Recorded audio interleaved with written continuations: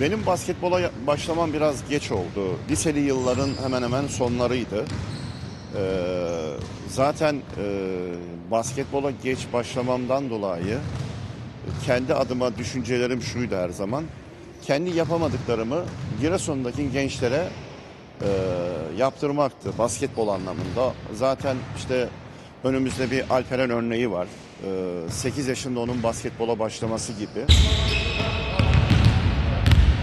Çünkü başladığın zaman basketbola turnike atmasını, şut atmasını bilmiyordum. Yaşım da hemen hemen 17-18 civarıydı. Ee, o yüzden onlara e, çok erken başlatıp basketbolu bir an önce öğrenmelerini sağlamaya çalışıyorum. Basketbol benim için hayat. Ee, bazen oluyor ki buraya gelmediğim bir herhangi bir gün olmuyor. Haftanın 7 günü. Ee, evde de basketbol devam ediyor bir şekliyle. Çünkü e, sabah saat 3'lerde uyanıp Alperen'in maçlarını e, seyrediyorum. Yani e, şöyle denebilir bence. Basketbolla yatıp basketbolla kalkıyorum öyle diyebilirim yani. Gerçekten Giresun basketbol şehri. Bunu daha önce e, yıllar önce e, Psikoblik Bayan basketbol takımı vardı. İnanılmaz bir seyirci potansiyeli vardı. O zaman 19 Eylül spor salonu tıklım tıklım dolardı. Hatta e, dolduğu gibi dışarıda büyük ekran yapılıp ekranda seyrediliyordu. Sonra bir Yeşil Giresun Belediye örneği var. Süper Lig'de erkek takımı.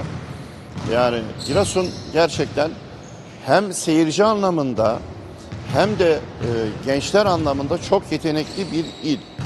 Bunun örneklerini Alperen'le verebilirim. Demircan Kürekçi, Mehmet Salih Şenel, Kuzey Uras Agu. Bunlar milli takım kamplarına gitmişlerdir. Yine bu sene ilk defa e, milli takım kampına giden antrenörümüz Abdullah Mert Erdemir, Asya Akoğlan sporcusu kendisi. Bunlar milli takım kamplarına katılmışlardır. Ee, yani Giresun aynı zamanda hem NBA'de oyuncusu olup hem de milli takımlara oyuncu gönderen bir şehir. Basketbol şehri. Bizim için ölçü Alperen 8 yaş olarak değerlendiriyorum. 8 yaşından beri burada cumartesi ve pazar günleri basketbol çalışmaları oluyor kız ve erkek. Onları e, belki lise bitene kadar bazen bırakmayanlar için söylüyorum. Lise bitene kadar bizimle beraber oluyorlar. Öğrenenler, yetenekli olanlar dönem dönem basketbol takımlarımızda oyn- oynuyorlar. Ben mesela bu sene biraz e, erkek takımındaki bazı oyuncuları mesela e, kendi imkanlarımız oluşmadığı adına altyapılarda Trabzonspor'a verdim. Bizim maksadımız burada çocuğu daha çok eğlendirme maksatlı değil de basketbol öğretme maksatlı olduğu için buraya gelen sporcunun mutlaka basketbolu öğrenmek zorunluluğu var. Gururluyuz tabii. Giresun gibi bir ilimizden şu anda dünya basketboluna damgasını vurmuş, sözünü ettiriyor. Giresun'un 28 numarasını taşıyor. Yani biz e, içimizde büyük bir gurur var. E, Mutluyuz. E, Aynı zamanda çok vefa, vefakar kendisi. Hiçbir zaman gittiği yeri unutmayacak. Zaman zaman buraya geldiği zaman e, antrenmanını gelip burada yapar yazın.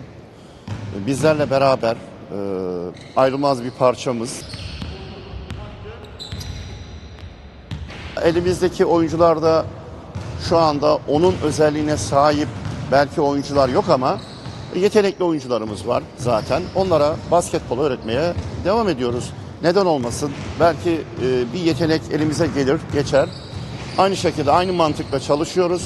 Sanki bir Alperen daha yetişecekmiş gibi çalışmalarımıza devam ediyoruz.